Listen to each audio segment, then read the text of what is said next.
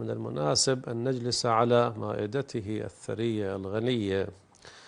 آه، أن نزوره هذا أمر في محله ومما ندب إليه بشدة. روايات الزيارة روايات متعددة وفيها وعود كثيرة على أجور عظيمة.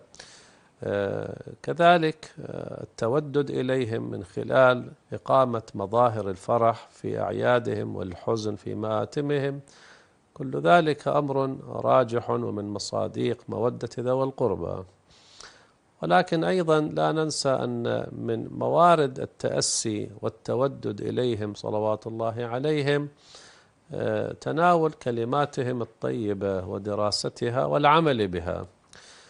آه، الإمام الرضا صلوات الله وسلامه عليه كآبائه وكأبنائه الكرام كان مظهرا للعلم والفضل مناظراته صلوات الله عليه معروفة في الكتب أثناء مسيره من المدينة إلى أرض طوس كم بث من علوم آبائه وأجداده.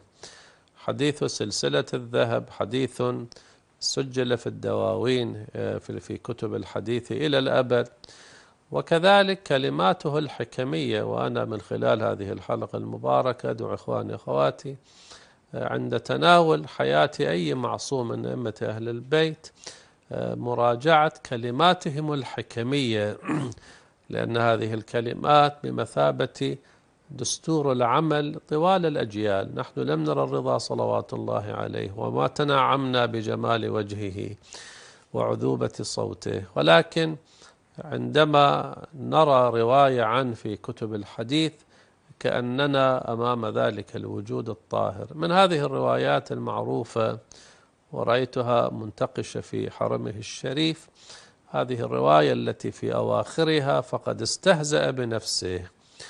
الآن ما هي موارد الاستهزاء بالنفس؟ أولا من استغفر بهذه المضامين من استغفر ولم يندم فقد استهزأ بنفسه.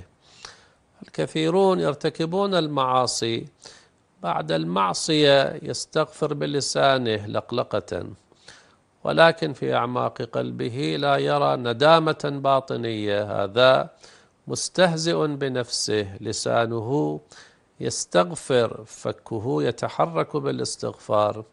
ولكن في قلبه آه، الميل إلى المعصية. هذا الإنسان مستهزئ بنفسه. صلوات الله وسلامه عليه يذكر من مصاديق الاستهزاء بالنفس أيضا من سأل الله التوفيق ولم يجتهد. الكثيرون منا يتمنى الدرجات العليا مادة ومعنى التوفيقات القرب إلى الله عز وجل. ولكنه في مقام العمل نراه متقاعسا. مثله تماما كمثل الزارع الزارع الذي يتمنى المحصول يتمنى الحصاد وهو في فصل الزراعة لم يبذر بذرا ولم يسق سقيا. هذا الإنسان أيضا مستهزئ بنفسه. في عالم الزراعة الباطنية الأمر كالزراعة الأرضية. كما في الأرض هنالك إعداد تهيئة إزالة للموانع سقي منتظم. في عالم الأرواح الأمر كذلك تماما.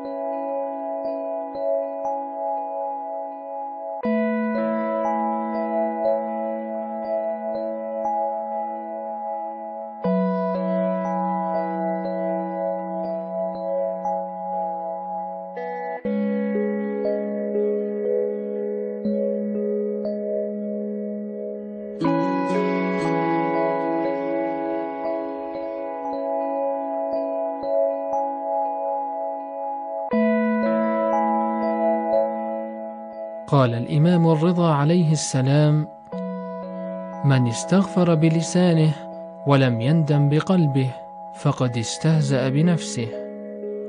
ومن سأل الله التوفيق ولم يجتهد فقد استهزأ بنفسه.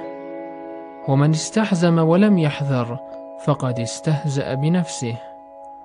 ومن سأل الله الجنة ولم يصبر على الشدائد فقد استهزأ بنفسه. ومن تعوذ بالله من النار ولم يترك شهوات الدنيا فقد استهزأ بنفسه. ومن ذكر الله ولم يستبق إلى لقائه فقد استهزأ بنفسه.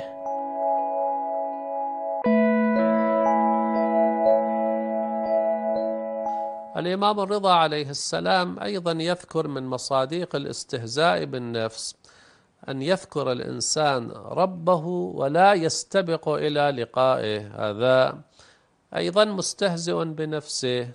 القضية كالاستغفار المستغفر غير النادم مستهزئ بنفسه. ذاكر الله عز وجل الذي لا يرى في قلبه شوقا إلى لقائه ورغبة إلى وصاله.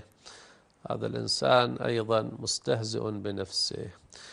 الذكر على اللسان إذا كان كاشفا عما في القلب هذا الذكر له وزنه له قيمته. وإلا حركة اللسان والفك لا قيمة لهما في حد نفسه. كذلك الرضا صلوات الله وسلامه عليه يشير إلى مورد من موارد الاستهزاء بالنفس. من طلب الجنة ولم يصبر على الشدائد. الطريق إلى الله عز وجل هو طريق ذات الشوكة. من يريد الجنة ويريد نعيمها الآن حورا قصورا رضوانا إلى آخره لا بد أن يوطن نفسه على تحمل الشدائد. هذا طريق الأنبياء والمرسلين. ونحن نعلم أن البلاء للأمثل فالأمثل البلاء البلاء للولاء.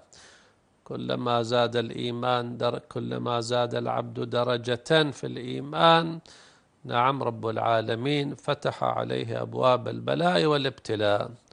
طبعا نسأل الله عز وجل أن لا يبتلينا في الدين وإلا بلاء الدنيا طريق التكامل. وأخيرا الإمام الرضا صلوات الله وسلامه عليه أيضا يحذر من هذه الظاهرة الذي نعم يخاف من النار ولا يترك شهوات الدنيا. هذا أيضا من المستهزئين بأنفسهم.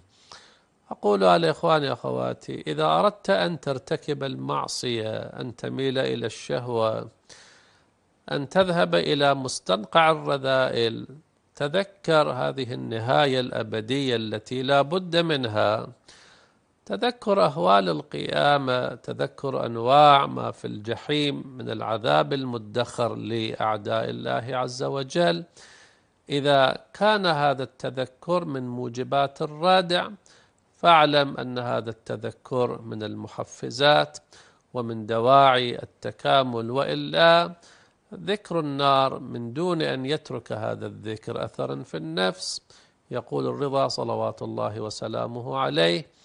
من مصاديق الاستهزاء بنفسه. صلوات الله عليك يا أبا الحسن يا علي بن موسى أيها الرضا المرتضى يا حجة الله على خلقه يا سيدنا ومولانا إنا توجهنا واستشفعنا وتوسلنا بك إلى الله وقدمناك بين يدي حاجاتنا.